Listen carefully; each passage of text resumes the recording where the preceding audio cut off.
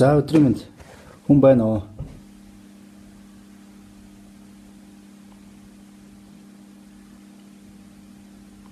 Хм. За намайг сонсож байна хүн байна уу?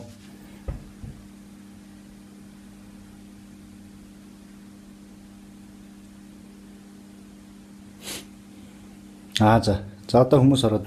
За нэг хариу өгөөрэй. Нэг лайк дарчих хүн байгаа бол аа за зэн дээр харагдчих. За гялс нэг би 10 минутанд багтаагаад дасгал хөдөлгөөний талаар хэдүүлээ нэг товчхон ярилцаад яач би бас жоохон завгүй байгаа уучлаарай. За тэгэхээр дасгал хөдөлгөөнийг бол хийснээр бол хүний хамгийн гол зорилго бол хүний бие махбод за эс дотор одоо бодис солилцоо биохими уруул явагддаг. Тэгэхээр энэ биохими уруул явагдаж байгаагаар нь одоо англиад үзэх юм бол хоёр төрөлд ангилждаг. За эсийн дотор ямар одоо юу уруул явагдаж байгаагаар нь хамаарат аэро болон анаэро гэсэн дасгалууд явдаг. Тэгэхээр энэ хоёр дасгалыг ямар зорилгоор хийх гэж байгаагаас хамаарат одоо сонгох нь бол их зүв байдаг. За аэробик гэдэг нь болохоор ямар учиртай вөхөр таны эсийн дотор дасгал хийснээрээ эсийн дотор хүчил төрөгч ихээр шингээж одоо бодисын солилцооны эрчим одоо явагддаг дасгалуудыг бол аэроб дасгал гэдэг. Энэ дэр бол за бидний мэддгээр бол аэроб гэдэг үгнээс гаралтай аэробикийн дасгалууд байна. За хүмүүсийн хэлдгээр кардио ачаал өгдөг дасгалууд байна. За энэ дасгалууд бол за бидний мэддгээр бол спин орж болно.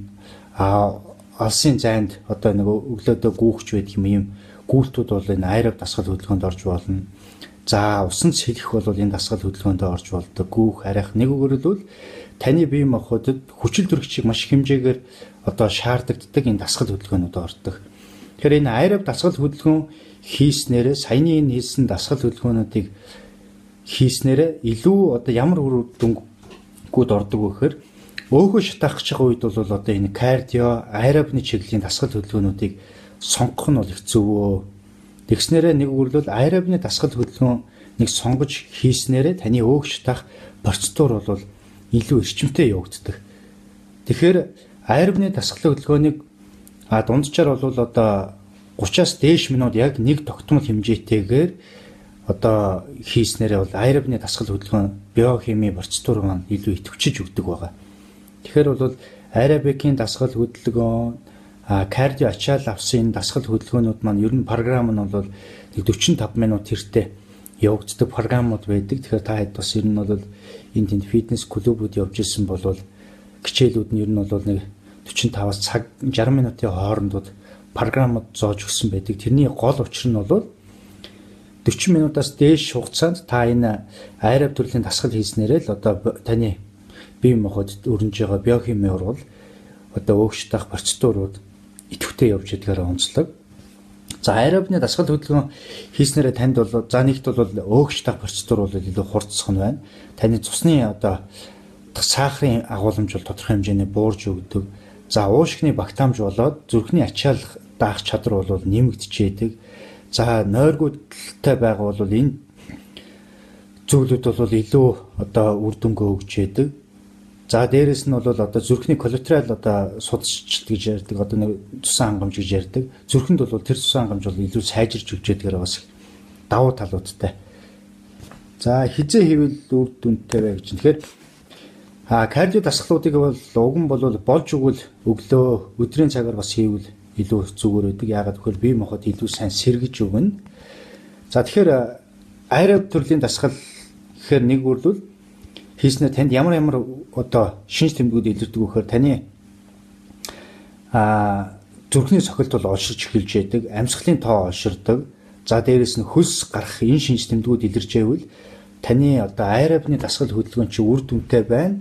Өөгш таах процедурууд маань их сайн явагдаж байна гэдгийг илтгэж болох юм байна. Учир юу гэхээр яг энэ аэроб дасгал хөдөлгөөн хийгээд ирэхээр биохими уруулаар бол одоо ис задраад ирэхэд бол өөхний ис задрахад бол нүүрс хүчлийнхий ус хой болж одоо задардаг. Тэгээд нүүрс хүчлийнхий бас үүсэж байгаагийнхан шинж тэмдгээр таны төв мэдрэлийн тогтолцоо зочилд ороод амьсгалын төв одоо зочирж амьсгалын тоо олширдаг, зүрхний цохилтол олширдаг юм жамтай. Дээрээс нь бол ус үүсэж байгаа гэдэг утгаараа таны бие махбодоор тэр үүссэн усууд хөлс болж одоо гадагшилдаг ийм одоо механизм явж байгаагаар нь та бол айрав дасгал хөдөлгөөн үүсэж байна гэдгийг бол мэдчих болдог. За тэгвэл одоо нөгөө талынхын дасгал хөдөлгөөн бол анаэра бэсэлтэл буюу хүчил төрөгч одоо таны биеийн хотод баг шингээгдэж одоо биохими уруул явдаг ийм дасгалууд бол бас байдаг. Энийг юу гэдэг вэхээр бид нар бол их хвчлэн хүчний дасгал гэж ярьдаг. За бодибилдингийн одоо гантелтэй дасгалууд байж болно. Хүчний гурван төрөл гэж ярьдаг. Power lift нь ч байж болно. За дээрэс нь бол а богино зайд гүүх гэж ярьдаг тийм ээ. Богино зайд гүүхийн дасгалууд ордог. За дээрэс нь шат өөд өгсөх дасгалууч гэдэг юм. Нэг үгээр л таны яг энэ булчингуудын деталь деталь булчингуудад илүү ачаал өгсөн дасгалууд бол энэ анаэробь дасгал хөдөлгөөнд бол ордог. Тэгэхээр анаэробь дасгал хөдөлгөөн хийгдэж байгаа үед бол одоо гол юм болохоор таны хүч сайжирдаг. Дээрэс нь булчингийн хэмжээ томордог ийм онцлогтой. Булчингийн хэмжээ томорж байна гэдэг нь ямар вэ гэхээр булчингийн эсийн тоон олшрохоос илүүтэйгээр эсийн хэмжээнд томорж орж ирдэг ийм одоо механизм явдаг. Тэгэхээр энэ анаэробь дасгал хөдөлгөөний үед бол бие махбодод бол Төрөн бол айрав дасгал хөдөлгөөн дээр бол нүүрс хүчлийнхii ус үсдэг болохоор амьсгалын тоо олширч хөлс ихээр гардаг зүрхний одоо цохилт олширдаг гэж ярьсан. За тэгэхээр анаэроб дасгал хөдөлгөөний нэг онцлог бол энд бол биохими урвал дээр одоо сүүний хүчил буюу лактат гэж одоо нэгдэл бол үүсдэг. Тэгэхээр та санаж байгаа бол ер нь дасгал хөдөлгөөн хийгээд ирэнгүүт гинт хийгээд ирэхээр нөгөө бие булдраад хамаг бие хүндүр болоод идэг учир нь бол лактат гэдгийн mūсээд лактат буюу одоо сүүний хүчил маань таны одоо булчингийн төгсгөлт мэдрэлийн төгсгөлийг бол цочроож өгснөөр таны хамаг биеийн одоо булчингууд бол хүндүр орж идгээр нь бас та ан хоёроо дасгал хөдөлгөөн хийгдэж байгаа юм байна гэдгийг бас мэдэх боломжтой. Тэгэхээр энэ хоёр дасгал хөдөлгөөнийг ямар үед нь сонгож хийх вэ гэхээр за өөгөө шатаах гэж байгаа илүүдэл чингээ тодорхой хэмжээнд хасах гэж байгаа хүмүүс бол эхлээд аэробны төрлийн дасгалуудаа сонгож хийх нь зөв. За хэсэг хугацааны дараагаар бол мэдээж өг шталтын процедур тодорхой хэмжээний гайгүй явагдсан гэж дүгнж үзэх юм бол та булчингийн масса авах гэж байгаа бол илүү ан аэров дасгал хөдөлгөөнүүдэд сонгож өгөх нь зөвөө. За тэгэхээр спинэн ордгоо гэсэн байна. Спинэн бол ер нь бол бас ан аэров аэровны дасгал хөдөлгөөн бол хосолсон байдлаар бас онцлогтой байдаг зүрхэнд одоо ачаал өгнө, кардио дасгал болон дээрэс нь яг хийгдэж байгаа энэ булчингууд дээр бас нэлээд ачаал өгдөг юм байгаа. За төрниктэр сунях бол бас ер нь ана аэробдод орно яг таны сунааж байгаа аль одоо сунахад булчин ачаал өгж байгаагаараа тэр булчингийн хэсэгт чинь бол ачаал өгж тэнд илүү гипертрофи буюу булчингийн томрлын үйл явцуд бол ордгоо. За яг дасгал хөдөлгөөнтэй холбоотой асуух зүйлүүд байвал гяс гяс асуучих. Тэгээд би ямар ч үзэж амжаагүй хүмүүс байвал энийг сейвлээд оруулчих. Тэгээд бас энэ дээрээс бус хүмүүстэй түгээх маягаар та хэд маань бас шеэр хийгээд түгөөч юм зү. За гэрийн нөхцөл хийж болох дасгал санд болгож болох уу гэд. Би ер нь гэрийн нөхцөлд бол за нөгөө дэлхийн эрүүл мэндийн байгууллагаас хүн өдөрт 30 минут идэвхтэй дасгал хөдөлгөөн хийвэл та одоо эрүүл байж болно гэдгийг бол одоо шинжилгээ ухааны суурин дээрээс юм зөвлөмж гаргасан байдаг. Тэгэхээр идэвхтэй дасгал хөдөлгөөнөөр хүмүүс бас буруу ойлгоод байдаг. Өдөрт би ингээд маш их ачаалтай ажиллаж гин гадуур дотор их явж гин дээшээ доошоо их явж гин.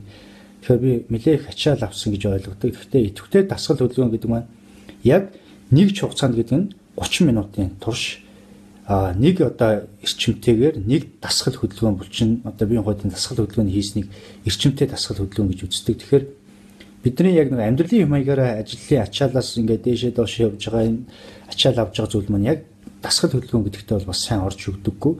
Тэгэхээр гэрийн нөхцөлд бол энэ хийх боломжтой дасгал хөдөлгөөнийг бол ер нь миний ганц өвлөх төртэй дасгал бол зүгээр хүн болгоны сайн мэддэг нэг сунж мөрөх дасгалыг та хэд маань хийгээд заншчих юм бол энэ яг 30 минут болдог нэг үрлөө 108 удаа сунж мөргөж тааж чадах юм бол яг 30 минутын хугацаа шаардлагаддаг. Тэгэхээр сунж мөрөх маань өөрөө одоо булчинд ачаал өгчдөг. Төрөний хэлдгээр анаэробны дасгалууд нь орчин. А сунгалтын дасгал гэдэг утгаараа сунж мөргөн гэдэг утгаараа тодорхой хэмжээний сунгалт явж яадаг амьсгалын дасгалууд явж яадаг утгаараа маш их идэвхтэй ийм дасгал хөдөлгөөнд ордог. Тэгэхээр энэ дасгалыг одоо гэрийн нөхцөлтөө хийгээ заншичаараа. Тэгээд дулаан орохоор уг нь бол өглөөдөө гараад гүгээд одоо дадчих юм бол энэ маш том зүйл шүү. За жингийн илүүдэлгүй хүн булчгийн жингийнхэн шууд хүчний тасгал хийх ёстой юу ямар За яг жингийн илүүдэлгүй бол шууд булчин ачаал өгсөн дасгал хийж болно. Гэхдээ хүн бол яг карди ачаал буюу зүрхний ажиллах чадвар уушигны багтаамж эднэрийнхээ сайжруулах карди ачаал булчинд ачаал дасгал өгөх хоёрыг хослуулад хийгээд явах нь их зөвөө тэр зүгээр яг одоо жишээлбэл илүү чирэгчж байгаа, илүү галбирч байгаа хүмүүс бол аль бол аль альний сонгоод хийгээд явах нь зөв шүү. За Harper's өөх шатаадгүй л гэсэн байна. За өөх шатаад гэдэг маань ганцхан хүмүүс бас нэг юм байгаад зөвхөн одоо Harper's ч гэдэг юм янз янзын хэрэглээд өөх шатаачдгүй маа. Саяны хэлдгээр айрабны дасгал хөдөлгөөнүүдээ хийж ээж л өөх шатна. Тэгхгүйгээр зүгээр байж байгаад өөх шатаана гэж бол ерөөсөө байхгүй харин янз янзын өг шатагч гэж одоо нэмэлт зүйлүүдийг дасгал хөдөлгөөнтэйгээ хослуулж ийх юм бол өг шатна. А нэг юм хэлэхэд бол та яг өөгөө шатахаар аэробны төрлийн дасгалаа хийж байгаа тохиолдолд зайлшгүй усууж байгаарэ. Баг баг хэмжээгээр ойрын хүн усууж явах нь чухал байдаг. Яагаад гэвэл өг шатах энэ биохимийн урвалт чинь усны оролцоотойгоор ордог юм шүү. Йог бол сайн сонголт орно. За тэгээд дасгалын юмнууд орчин Йог бол өөгч тахад бас нэлээд их ачаал өгдөг. Өөгч талд бол ордог. За 30 минутын кардио өдөр бүр хийж байгаа гэд. Буглын булчингаараа том хүмүүс ямар дасгал хийвэл зүгээрээ. Нь зорилго нь ямар юм. Өөдөө булхны булчингаа томруулах гэдэг юм лөө. Нурууны хагалгаатай хүн ямар дасгал хийх вэ? За мэдээж нурууны хагалгаа гэхээр ямар юуг нь сайн мэдэхгүй. Гэхдээ тэр хагалгаа хийгээд ингээд мэсцлэгдсэн бол тэнд бол хэд их бас ачаал өгж ус болохгүй ихний. Гэхдээ мэдээж нөхөн сэргээх гэдэг утгаараа хөнгөн төрлийн ачаалуудыг яг эмчтэйгээ нөхөн сэргээх чиглэлийн эмчтэйгээ зөвлөжж хийх нь зөвөө. Би яг нэг үдч чарааг болохоор бас сайн хэлж мэдэхгүй байна уучлаарай. Тэгэхээр гидсний өөхийг шатаахын тулд бас энэ дэр нэг зүйл чи хүмүүс нөгөө гидсний өөхөө шатаах гэж нэгэд бас зөвхөн гидс таталт хийгээ суугаад. Тэгэхээр Гиз таталт маань түрүүний хэлдгээр анаэраб төрлийн буюу зөвхөн гизний чинь тэр 6 толгойд булчинд ачаал өгдөг юм дасгал байгаа. Тэгэхээр гол нь гизний өөхийг шатаах гад байна гэдэг маань өөрөө өөх шатаах процедураар бид нэ эрчимжүүлж өгөх хэрэгтэй. Тэгэхээр нөгөө гүүх, харайх, карди ачаалуудаа хийж гизний чинь өөх одоо хайлна. Ганцхан гизний таталт дээр анхаарал төвлөрүүлээд ивэл гизний өөх чинь шатахгүй. Тослуулах гидсний дасгалыг хоолтой ослуулах ёстой. Мэдээж хоолтой ослуулах ёстой. За найзуудаа ингээд би гарахгүй бол а буглагаараа тарган багасгах гээд байгаамаа. Ямар дасгал. За буглагаараа тарган гэдэг нь нэлээж бас өөхөн өрөмтлөл үүссэн байгаа. Тэгэхээр яг энэ буглагаараа тарган гэдэг нөгөө хэсэг газрууд дээр багасгах чинь гэдэг хүмүүс яг тухайн хэсэг газрууд дээр булчин тачаал өгсөн гантелтэй ч гэдэг юм ийм дасгалууд хийгээд ивэл бас болохгүй. Тэгэхээр нөгөө багасгах юм ихээс илүүтэйгээр цаанаас нь булчингийн ачаал өгж булчин нь илүү төрж томрох болохоор ер нь бол кардио ачааллыг та хэд маань аваад авах юм бол ерөнхийдөө биеийн бүх хэсгүүд чинь угшталтад явагддаг болохоор тэр бүх хэсгүүд нь одоо багасч өгнө мэдээж үүний дараагаар бол булчингийн тонусын ажих арьс унжихаас сэргийлсэн бас тодорхой хэмжээнд дараагаар нь бол булчинд ачаал өгсөн дасгалуудаа хийж байгаарэ. За кейсер хагалгаар төрсэн хөндлөн оюуталтай дасарсан булчин эргээд за мэдээж дасарсан булчингууд хоорондоо ингээд нөхөн төлчих процедуруудаараа бол нийлээд нөхөн төлжин гол нь бол яг булчин эргээд булчингийн эд үүсгэс илүүтэйгээр холбогч эд үүсч өгдөг юм юутай байгаа. За за ингээд найзуудаа ямар ч сан богинохон хугацаанд товчхон мэдээлэл өгье. Тэгээд та хэд маань бас цаашаа найз нөхдүүдтэй бас энэ мэдээллийг хүргэх үүднээс шеэрлчээрээ би энийгээ сейвлээд постлчээ тэгээд хэдүүл ойр ойр хугацаанд богино өгн хэмжээгээр ингээд лайв хийчихвэл амар юм байна. Тэгэхгүй бол олон хүнд бичээд ингээд зөвлөгөө өгөхөр надад бас ачаалттай байна. За баяртай.